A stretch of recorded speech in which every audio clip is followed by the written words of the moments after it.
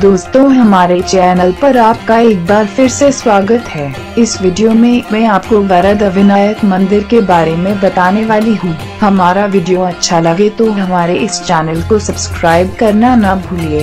वरद विनायक अष्ट विनायक मंदिरों में से चौथा मंदिर है। यह मंदिर महा में स्थित है। यह महाराष्ट्र राज्य के रायगढ़ ज़िले में एक छोटा सा गाँव है।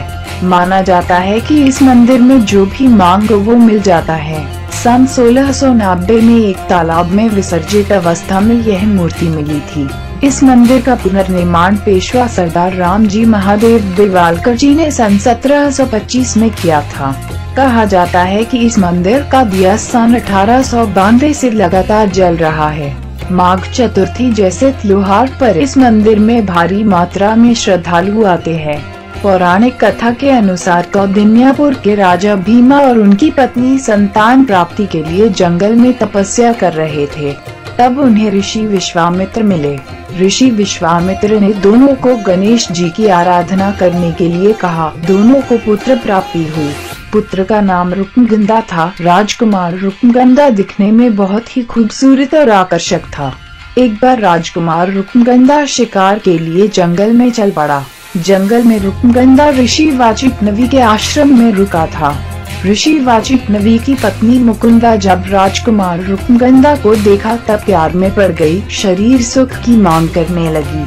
लेकिन राजकुमार रुकमांग ने मुकुंदा को ठुकरा कर वहाँ से निकल गया। तभी इंद्र ने राजकुमार रुकमगंधा का रुक लेकर मुकुंदा से प्यार करने लगा। कुछ दिन बाद मुकुंदा ने पुत्र को जन्म दिया। पुत्र का नाम ग्रत्समत था। जब ग्रिक्समत को अपने जन्म के बारे में पता चला, तब उसने अपने माँ को श्राप दिया कि वो बेर की पेड़ बन जाएगी। बदले में मुकुंदा ने अपने बेटे को श्राप दिया कि उसका पुत्र क्रूर असुर बन जाएगा। तभी आकाशवाणी हुई कि ग्रिक्समत इंद्र का बेटा है। माँ बेटे दोनों ही चौंक गए, लेकिन अब बहुत देर हो चुकी थी। मुकुंदा पेड़ में रूपांतरित हो गई और ग्रिक्समत राहत के लिए गणेश जी की प्रार्थना करने लगा।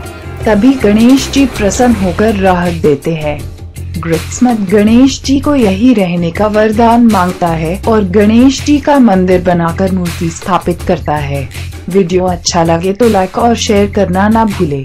हमारा वीडियो देखने के लिए धन्यवाद।